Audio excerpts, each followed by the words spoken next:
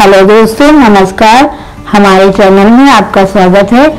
आज हम आपको एक बहुत अच्छी टिप्स बताने जा रहे हैं, जो है कि धनिया की। उसको हम लंबे समय तक स्टोर करके रख सकते हैं कि हमारी धनिया खराब न हो।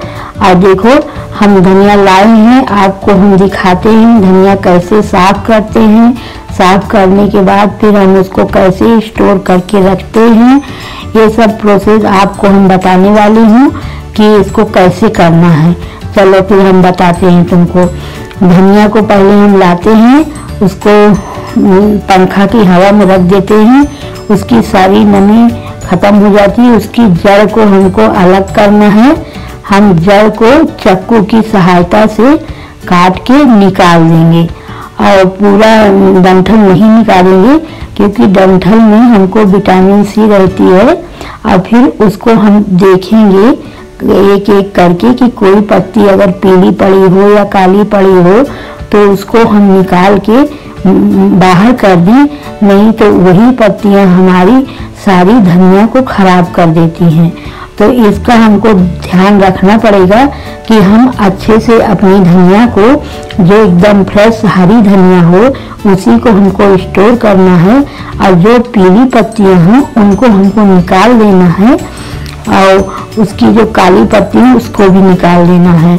अब हमने देखो धनिया को पूरा अच्छे से उसका डंठल निकाल के साफ़ कर दिया है। अब हमको इसके लिए एक बाउल तैयार करना है और वो प्लास्टिक का होना चाहिए। उसमें हम पेपर से कवर करेंगे। पेपर से कवर करके हम उसको सेट से पेपर ऐसे बिछाएँगे कि बढ़िया बराबर से बैठ जाए। अब उसके बाद हम उसमें देखेंगे कैसे धनिया रखें। इससे क्या है? हमको ये समझ में आता है कि धनिया हमारी अच्छे से इसमें स्टोर हो पाएगी डिब्बा में कि नहीं हो पाएगी। अब हम रखना चालू कर देते हैं।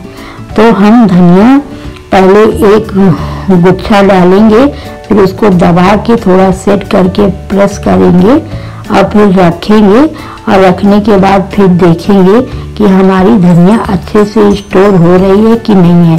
फिर हम उसको थोड़ा सा प्रेस करते हुए चेक करेंगे। उसके बाद हम धीरे धीरे करके पूरी धनिया को उसमें डाल देंगे। और डालने के बाद उसके ऊपर का जो पेपर बचा होगा, उसको हम प्रेस करके दबा देंगे। प्रेस करके दबाने के बाद फिर हम उसमें एक दूसरा पेपर लगा के अच्छे से प्रेस करके उसको कवर कर देंगे तो धनिया हमारी उससे सुरक्षित रहेगी। और ये टाइट डिब्बा में ही हमको रखना है। आपको इतना ध्यान रखना पड़ेगा। वैसे हम इसमें प्लास्टिक का डिब्बा ही ठीक रहता है, उसी में आप रख सकते हो। लेकिन अगर आपको स्टील का है तो उसको भी यूज़ कर सकते हो, उसमें भी कोई दिक्कत नहीं है।